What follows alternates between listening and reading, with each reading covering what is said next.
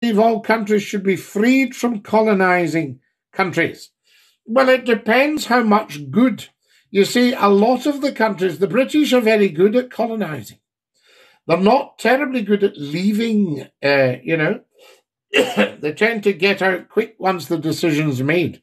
But countries are a business. And effectively, you're selling that country on to the next buyer. They are past that in this globalist society. Well, no, Slap Club. I don't think we can ever really be a globalist society. I don't think there are any benefits apart from to just a handful of super rich who want to take everything in the world, but don't realize, as my father would say, you can only wear one suit. Uh, so we live in a global economy now where every country should be equally responsible for each other. A slap club, not necessarily. 30 years of the nation being educated and you're still going strong. Congratulations, Scottie. Betty, Joe, I thank you. As you well know, Scottie McClue, his brief is to inform, educate, and entertain, and to take the neutral high ground. Ideally, anyway, yes, ideally, anyway, but well, I see, ideally, globalization is far from ideal. Four and a half thousand likes, my beauties. Have you all followed me? You must start seriously following Scottie McClue. But we know greed will win out in the end over the good of the people. No, no. You see, greed will never win out. Because what these poor souls don't realize, they're after control. They're not really so much after the hard cash as the control.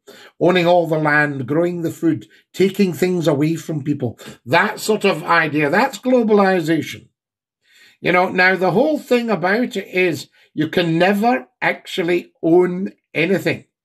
And you certainly can't take anything with you to the next life apart from your soul, your spirit, your knowledge, and your understanding. I live in Wrexham, North Wales, and Wrexham has become a city, sharing the city with Bangor. In Ireland, we love Bangor. In Ireland, there's Bangor in Wales as well.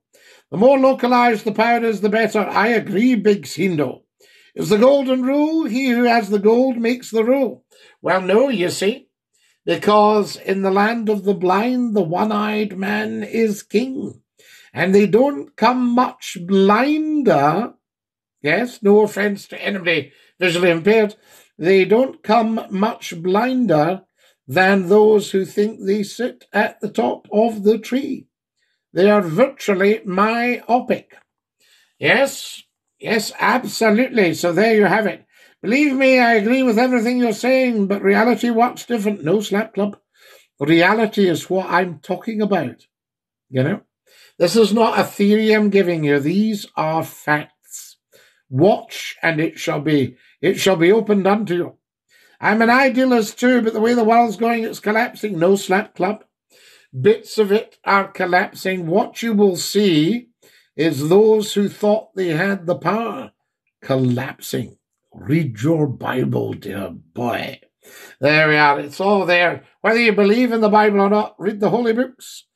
Um, and so it's not a question of being an idealist, it's just a question of being a factualist. Guys, I would have to done.